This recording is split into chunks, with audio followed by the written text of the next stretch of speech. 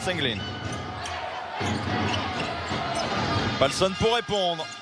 Et Nanterre a les bons clients pour répondre. Toujours Jérémy Senglin. Et au cours Palson, 3 points, même position, même spot, même résultat pour l'Islandais. Palson face à Bigot, il insiste. Oh, et magnifique Surtout dans une période où il était beaucoup plus passeur que scoreur. Interception d'Ocour Palson.